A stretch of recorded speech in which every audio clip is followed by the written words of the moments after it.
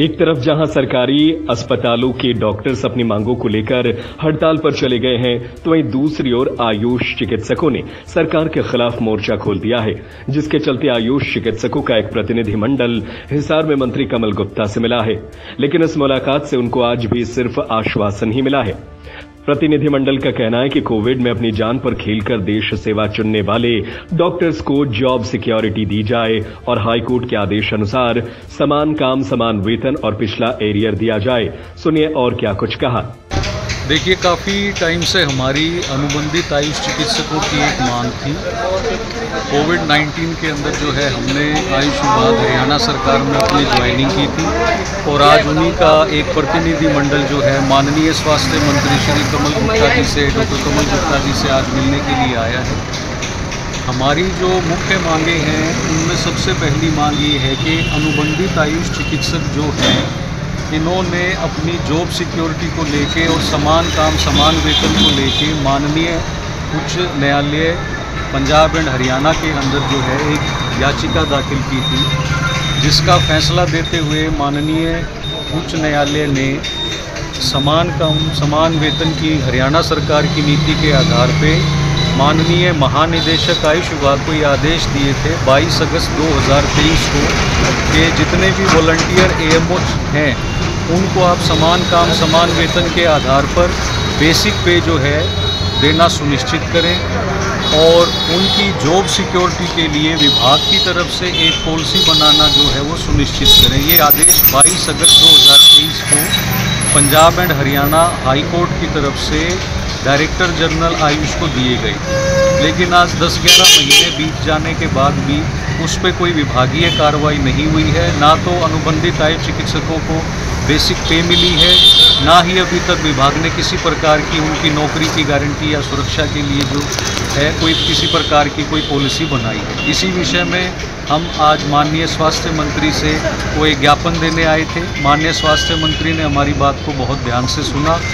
और शीघ्र ही इसके ऊपर उचित कार्रवाई करने का हमें आश्वासन भी दिया और इस बारे में उन्होंने माननीय महानिदेशक आयुष विभाग को आदेश भी दिए। तो हमें उम्मीद है कि हमारी जो शिकायत है वो जल्द से जल्द दूर होगी। जी डॉक्टर साहब आप कितने चिकित्सक लगे थे और कब लगे थे और अब विभाग में कितने कार्यरत हैं? दो हज़ार दो हज़ार बीस में अप्रैल दो आया था तो उस टाइम दो सौ छः आयुर्वेदिक मेडिकल ऑफिसर जो है वो अपॉइंट हुए थे और जो वैकेंट पोस्ट की अगेंस्ट जो है, इनको अपॉइंट किया गया था। दो सौ छः को। जो अब तक रहते रहते वो कुछ सी एच ओ लग गए, कुछ कहीं पे चले गए तो 134 अभी at present Ayush medical officer Ayush विभाग में कार्यरत हैं। अप्रैल 2020 के बाद एक साल तक इनका जो अप्रूवल है, आता रहा। उसके बाद इन्होंने केट कोर्ट केस डाल दिया हमने। कोर्ट केस डालने के बाद जो है, समान काम, समान वेतन का जो केस है, वो हम जीत चुके थे अब अगस्त 2023 में। लेकिन अभी तक सरकार की तरफ़ से, डिपार्टमेंट की तरफ़ से, यहाँ तक कि हम पीछे, पिछले महीने अपने डॉक्टर कमल गुप्ता जी से भी मिले थे, इन्होंने डीजी साहब को आदेश दिए थे, लेकिन उसके बावजूद भी जो डिपार्टमेंट है और जो सरकार कोई कार्रवाई नहीं कर रही है तो इसी मांग को लेकर हम यहाँ पे आए हुए जी, डॉक्टर साहब, आपकी मुख्य मांगे माननीय मुख्यमंत्री जी से और स्वास्थ्य मंत्री जी से क्या हैं?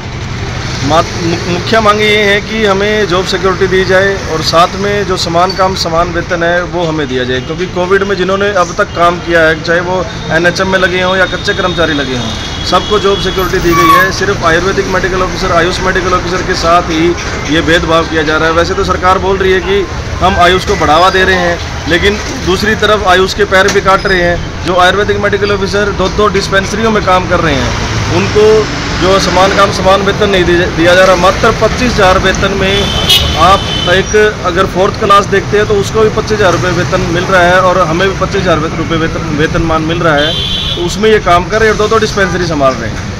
बहरहाल हरियाणा की भाजपा सरकार वैसे तो दम भर रही है कि हम आयुष को बढ़ावा दे रहे हैं। लेकिन अप्रैल 2020 में जब कोरोना आया और सब लोग डर के मारे अपने घर पर बैठे थे, तब कोरोना काल में आयुष विभाग द्वारा कॉन्ट्रैक्ट पर लिए गए इन 206 आयुष मेडिकल ऑफिसर ने ही इस स्वास्थ्य व्यवस्था की कमान संभाली थी और हज़ारों लोगों को मौत के मुँह में जाने से बचाई थी। इनमें से कुछ तो महिलाएँ थी जो छोटे छोटे बच्चों को छोड़कर ड्यूटी करने के लिए जाती थी। और हिसार में तो एक डॉक्टर प्रेग्नेंट थी, फिर भी अपनी और बच्चे की जान की परवाह किए बिना देश सेवा के लिए घर से बाहर निकली, जिनको अपनी मौत की परवाह नहीं थी और ऐसे महान डॉक्टर के साथ हरियाणा सरकार भेदभाव कर रही है। बात यहीं खत्म नहीं होती, क्योंकि अगर आगे की बात करें तो एक साल तक कॉन्ट्रैक्ट पर आयुष डिपार्टमेंट की तरफ़ से अप्रूवल आता रहा। एक साल बाद ये आयुष डॉक्टर कोर्ट केस करने के लिए मजबूर हो गए और अगस्त 2023 में केस जीत भी गए। जिसमें हरियाणा और पंजाब हाईकोर्ट ने हरियाणा सरकार को आदेश दिया कि इन डॉक्टर को समान काम, समान वेतन दिया जाए और उनके लिए जॉब सिक्योरिटी की कोई पॉलिसी बनाई जाए। 23 अगस्त 2023 को यह आदेश आया था, लेकिन अब तक हरियाणा सरकार ने और आयुष विभाग ने इस आदेश का कोई पालन नहीं किया है। यह आयुष चिकित्सक, आयुष मिनिस्टर कमल गुप्ता और मुख्यमंत्री नायब सैनी से कई बार मिल चुके हैं। लेकिन हर बार इनको आश्वासन देकर वहाँ से भेज दिया जाता है। लेकिन इस आदेश का कोई पालन नहीं हो रहा है।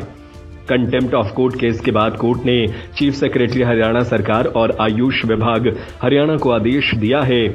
कि तय समय सीमा में कोर्ट के आदेशों का पालन किया जाए, नहीं तो आपको फाइन लगाया जाएगा। लेकिन फिर भी आयुष विभाग और सरकार के कानों पर जू तक नहीं रेंग रही।